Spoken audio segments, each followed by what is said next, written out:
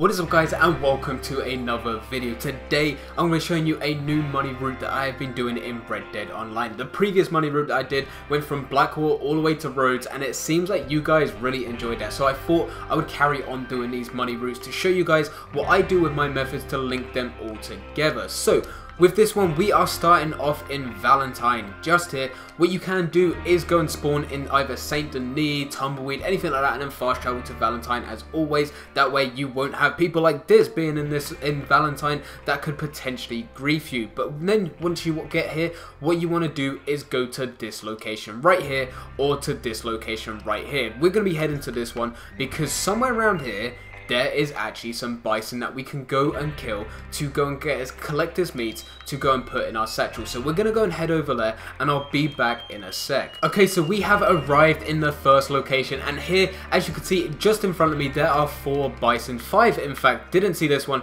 And with this, all you want to do is try and kill all of them. Now, I think as these ones have gone over the hill, they may have despawned. If not, that one's going to despawn anyway. So what I'm going to do is uh, I'm just going to go and take this one. But if you was going to go and do this method for real, definitely try and get as many bison as you can to go and kill. What I use is my bolt action rifle and I try to go for headshots. Also, I think I got the location a bit wrong. I was a bit out. I said on this path just here, it's a bit more in. It's just like right in the middle between the two locations. And I've said, oh wait, I've said that it was either here or over here. I knew the image of the bison goes and shows up here, but I wasn't sure which side it was on. It's actually right in the middle, just in front of it, just in this location right here. And all you need to do after that, if you go and get a load of bison, what I normally do is pick up the skin and uh, then just drop it. Just drop it. As soon as you drop it, the only thing you're losing is the pelt. Everything else, all the meats, all of that stuff, the horn, is in your satchel and that's the stuff that gives you the good money. Uh, they don't actually go for a lot of money each item but what you will do is if you killed all 5 bison you can easily get 20 meat out of that which will then sell on for a decent amount of money. The next location that you want to come to is just right around the corner. These are all close together so once you get here uh, what you want to do is go to this location and here what can happen if it's daytime and it's getting kind of dark, in fact no it's just cloudy, uh, what you can get is a lot of different types of birds. They normally are just sort of laying there bathing in the water and what you need to do is go and get your varmint rifle out as I think that's a crow and I don't really care about that. Uh, but you can get a, a, load of different types of duck. There's also bison here so if I was going to do this method for real I would definitely go and kill those, go and skin them, put it on my horse or go and collect, collect the meats from my satchel and then drop the pelt because I don't really care about that. If it was a perfect pelt I would definitely put that on the back of my horse um, but now we're in this location and as you can see there is birds flying over over there. Uh, these sort of pronghorn bucks I would definitely try and kill them if I was doing this method for real. Uh, but I just want to see if we can get some birds. And there should be, there's normally some ducks around this bit just here. I think I scared them off already. I feel like I scared them, oh there they are. So these, this is a good location. There's always different types of ducks that spawn in here. And with these, you kill them with your varmint rifle. They should either be good or perfect. And then you just go and pluck them. You just go and pull their feathers. And then that's that. You don't really need to care about them. You can go and put them on the side of your horse if you know they go for a lot. I believe these types of birds here, they only go for I think 45 cents, maybe 65, somewhere around there. Nothing too amazing. So I'm not going to go and pick them up. I just want to go and get their feathers, store them in my satchel, and then that's it. I don't really care about them. Their, their bodies can just lay there. I'm going to carry on trying to find different birds in this location. Like I said, when you're traveling doing these types of routes, what I normally do is I try to kill everything. Everything I see, just like the previous route that I showed from Blackwater all the way to Valentine. Sorry, from Blackwater all the way to Rhodes. Uh, I just I just killed everything. Everything I saw, I just killed. And if you saw the clip at the end of that video, and I'll leave a link in the description down below to that route, but I left a clip at the end of that video of me selling everything, and we sold, I think, like a $130 worth, $120.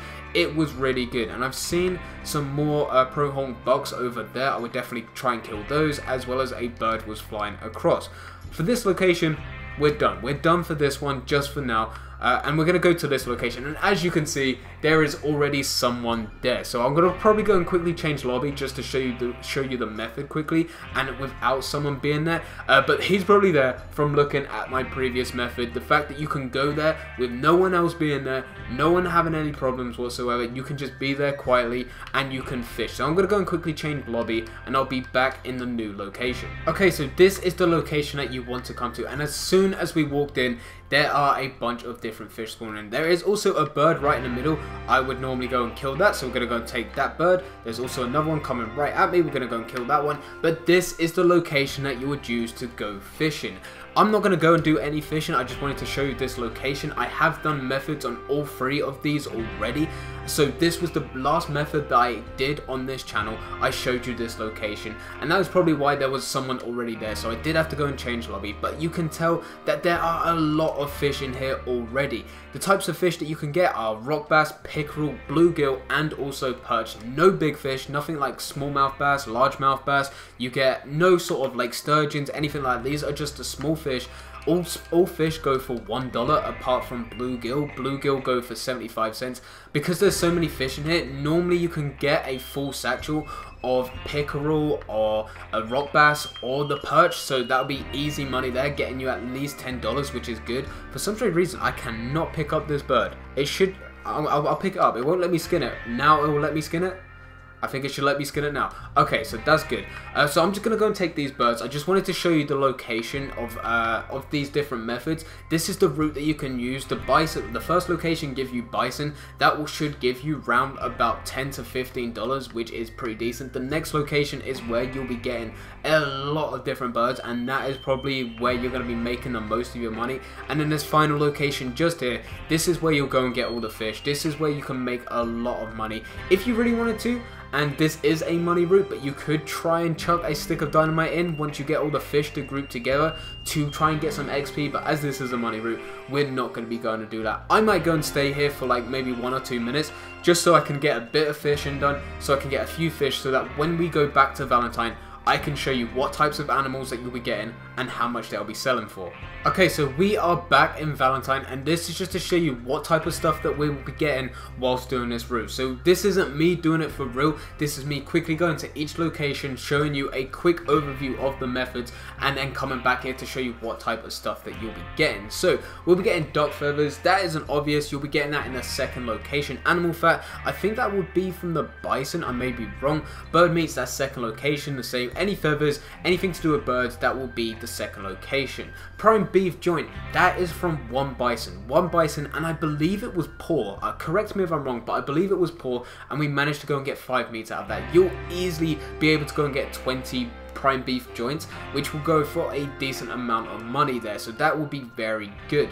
The next up, game meat, um, that you, you're, you're going to be getting at. You're going to be getting at every time you go and kill birds, you'll be getting at. then all the fish, in fact, not the bison horn, because that's from the bison, all the fish, and I think the goose feathers, that was actually from the other location. Flight feathers, they don't really go for too much you'll be getting those easily. You'll easily get 10 of those. And these are the types of fish that you'll be getting in the last location. So perch, rock bass, chain pickerel, and also there's bluegill. And I say it every time, bluegill is the cheapest, but weirdly enough, it is the rarest. I, I don't know how that works out. It is the cheapest, and for that, I would have thought that would be the one that goes for, you know, it's it's there more but it isn't. It's just not the case. The rock bass, the perch, and also the chain pickerel, those are the most expensive fish that you're going to get in that pond area, and those are the ones that you'll be getting the most. So if you go and spend, say, 10 minutes there, you should easily be able to go and get a full satchel of at least one of these. Maybe not all three, in fact, probably not all three. I do not think there's 30 fish there, but I do believe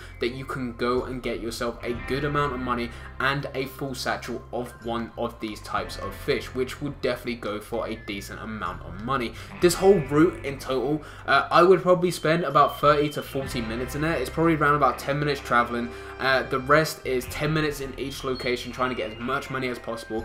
As I'm traveling there and traveling back, if I see anything, any bird, any other animal, deer carcasses, anything like that, I will go and kill them, put them on the back of my horse, and then bring it back to the butchers. And here, hopefully, you'll be able to go and make yourself about a hundred dollars at least, just like the other location. But anyway, guys, that is the route that I'm currently using for this week in Red Dead Online. I hope you guys did enjoy. If you did enjoy, don't forget to leave a like and subscribe. But for now, I'm going. So see ya.